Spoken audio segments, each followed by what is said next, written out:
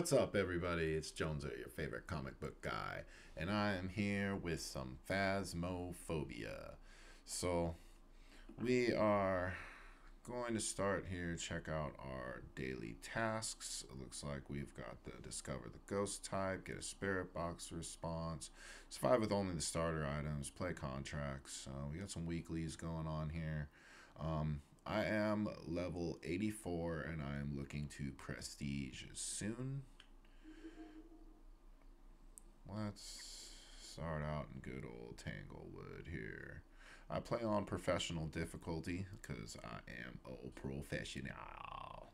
Let's do this.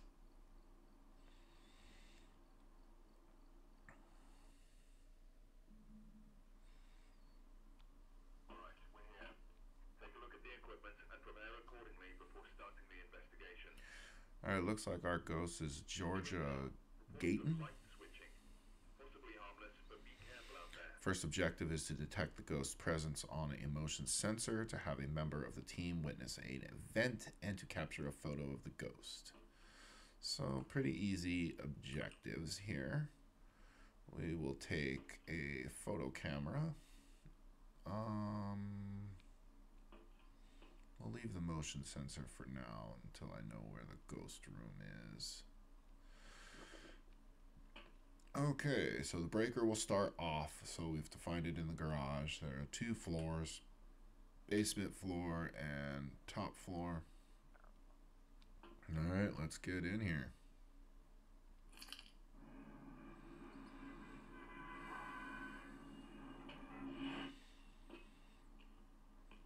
The game has a voice recognition technology, so if that microphone icon in the corner is on, which I just turned it off, the ghost would be able to normally hear me speak. Right now it cannot because I'm talking to you guys. I don't want the ghost to hear me. Oh, like, whoa. Like he blew out my lantern there. That was freaky. Now, the first thing I like to do is just kind of get the power to the place on. Then we'll kind of scout around, see if we can find the bone or the cursed possession or some decent hiding places. And uh, the ghost room. If a room is no longer relevant, I like to turn the lights off so I know there's no reason to go back in there. They're looking around the kitchen, not seeing anything. Uh, there's the bone. So we'll take a photo of the bone. That is evidence. And we will carry on looking for the cursed object now, so I don't need to search the room so thoroughly anymore now that I found the bone. We're just searching for ghostly presence and cursed objects now. Bone objective is completed. A good giveaway if the is the ghost room as you will see cold breath. Now that doesn't necessarily mean freezing temperatures anymore. The way the um, game is, uh, been updated. Freezing temperatures has to be checked with a thermometer. It can no longer be gauged by a cold breath. And a quiet ghost, except for that he blew out my lantern somewhere over there. So, oop, what was that? Maybe in the kitchen.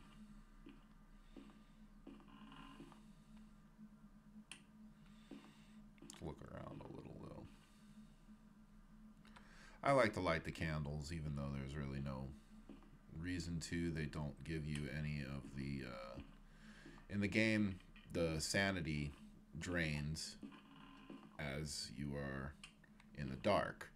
Now the firelight can prevent that somewhat. In the old days it used to prevent it 100%. Oop. See there's a hiding spot in here so I like to leave the light on just in case I get chased. I know I can run to the rooms with the lights on and hide. Let's check this kitchen out. Oh, yeah. Threw a plate, I'm thinking we're in here. So we probably got a kitchen ghost. So I'm to dump my equipment. Oh, yeah. Blew out my candle and everything. You know what? I don't think I ever found the cursed object, and there's only one less place it can be.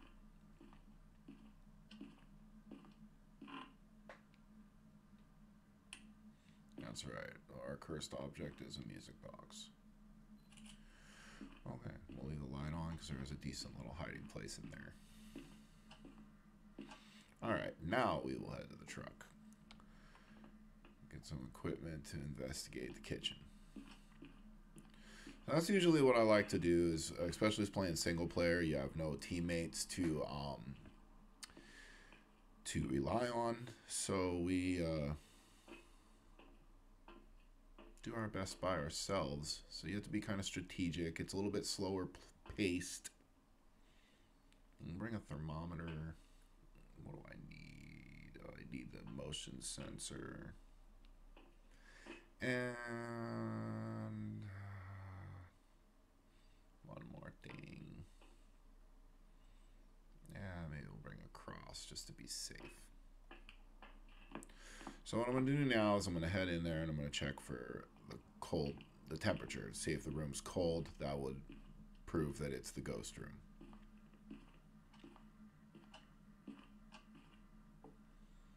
Which, yes, confirmed. I even saw my breath. So, doesn't say freezing, but we'll set this motion sensor. Hopefully we can get the ghost to interact with it. And uh, put this cross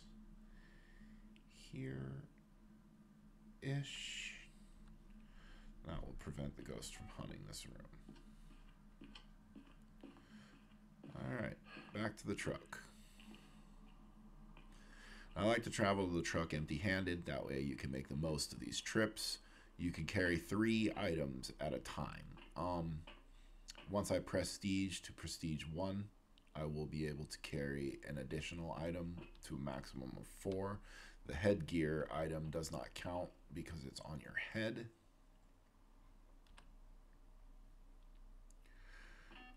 And I just kind of like to, you know, methodically put the equipment in the room and uh, see what we can find.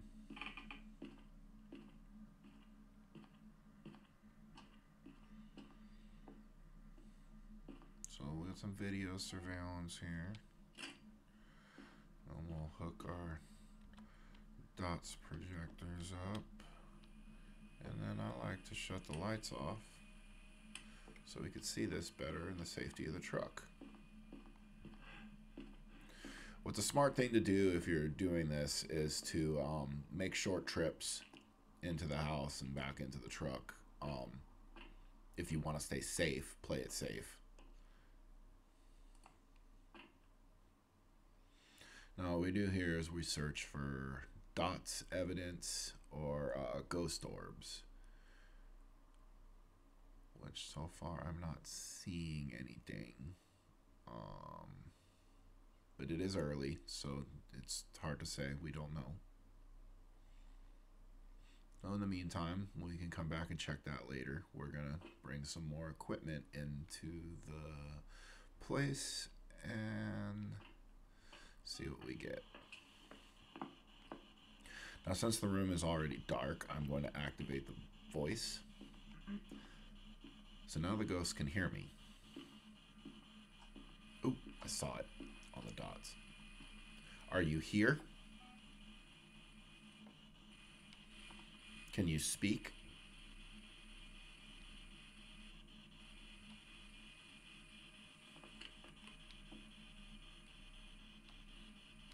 Where are you?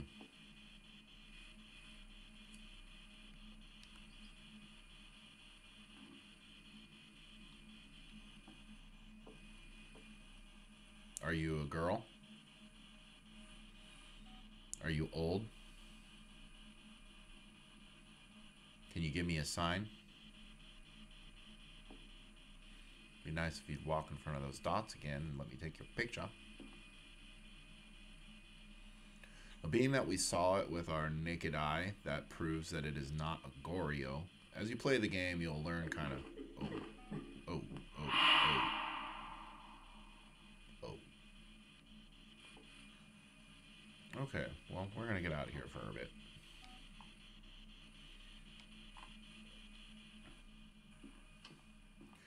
She don't like me being in there.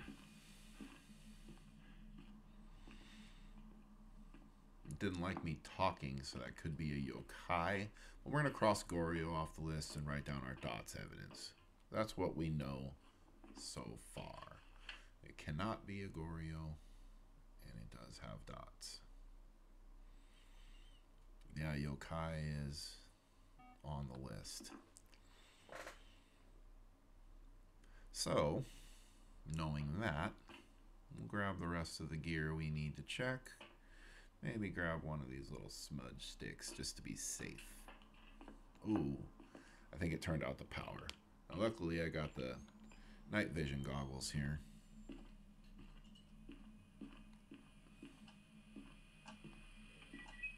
Oh yeah, I got some EMF. Evidence. Now five would be evidence. This is just a reading.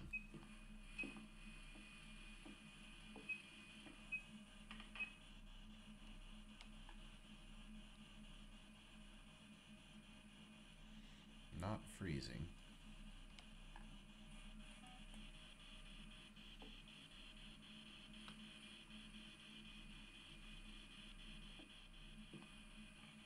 Not seeing any fingerprints so far.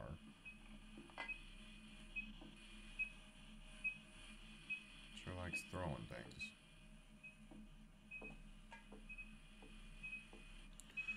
Okay, well, I'm going to throw that right there. We're going to leave this here handy.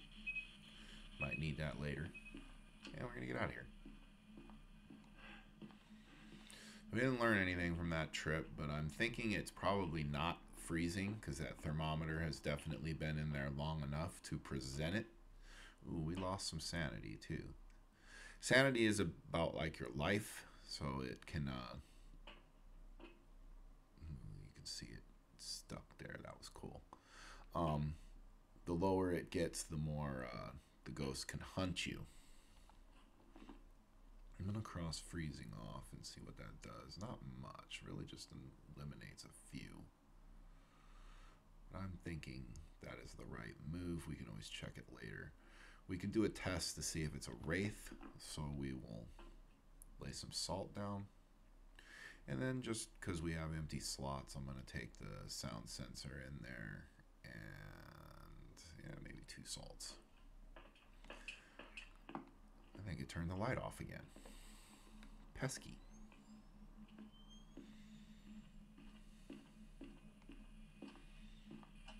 We'll get the breaker back on here. And we'll lay some salt down.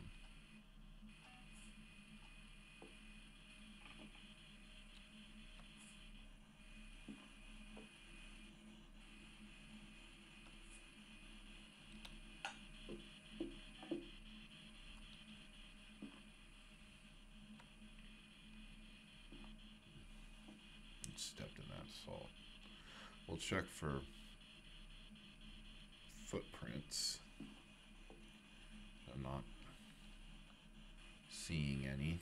Uh, might mean there's no ultraviolet. Let's get this lantern on, as I'm sure I'm losing sanity like crazy just sitting in the dark here. We are protected with the cross, but never want to take that for granted. There's ultraviolet evidence. Perfect. We'll get a picture of that.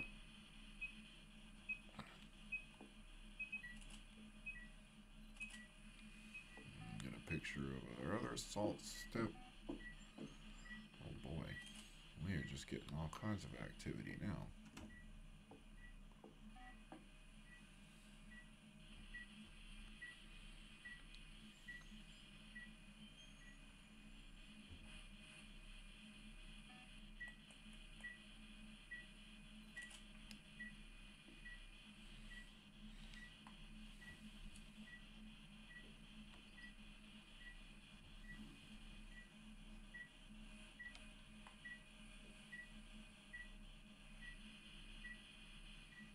I'm gonna lay some salt out here just in case I need to escape this ghost.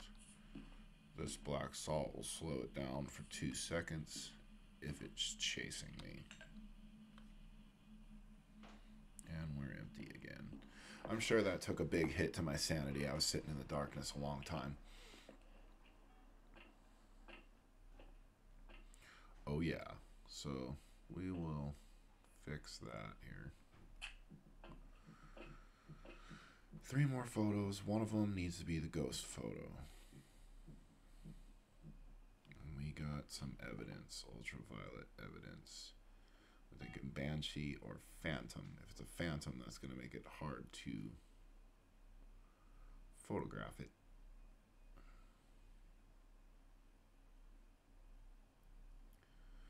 Okay, so we are looking for either ghost orbs or spirit box to prove Banshee or Phantom. So, I'm not seeing orbs, and it did not respond to the spirit box, so a little tricky here.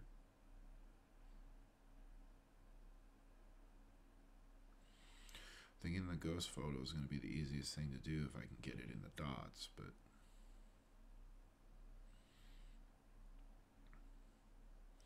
Okay. So the plan is we're going to go in there, ask it some questions in the spirit box, and try to get the ghost photo. If it presents itself half as much as it's doing now, this shouldn't be a problem. We'll see. And, oh, I did bring that in. We might as well bring this to be safe. Sanity is decent. Let's bring a lantern, because why not?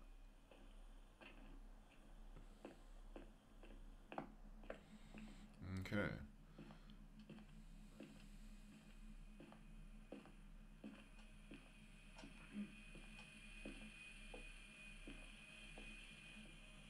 Are you here? Are you with me?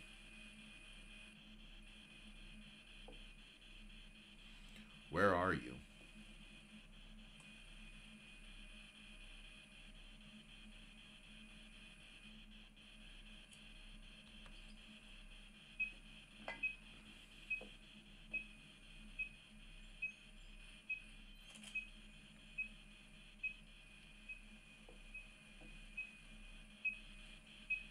Can I get your picture?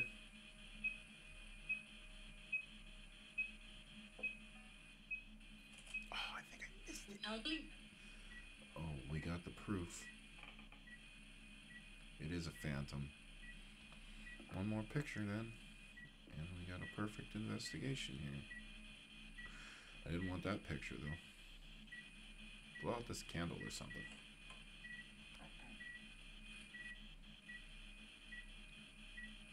Come on, one more picture.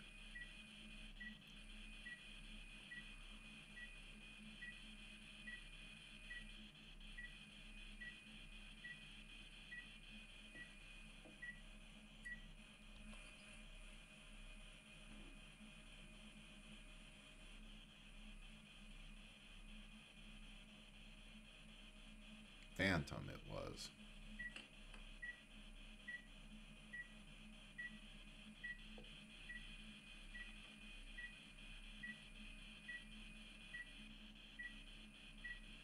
Come on.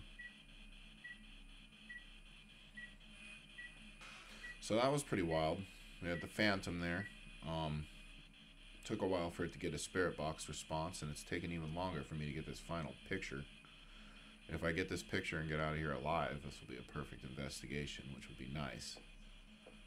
Um, come on, baby.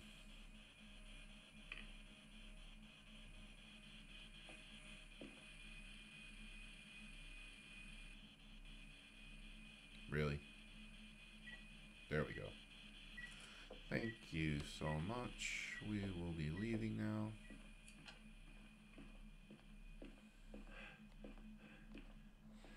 All right.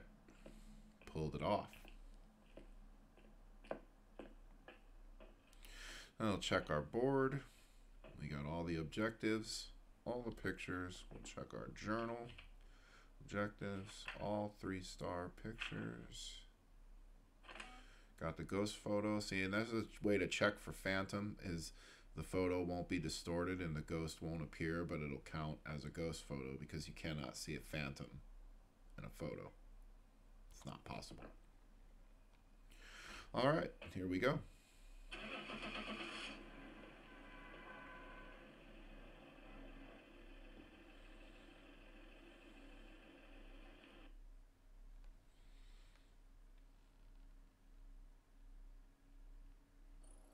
All right.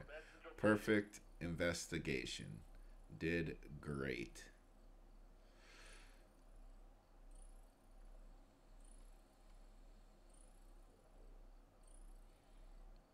Kicking butt. Are we going to level up here? That would be even greater. Oh, I think I'm going to just miss it. Bummer. Well, there we are.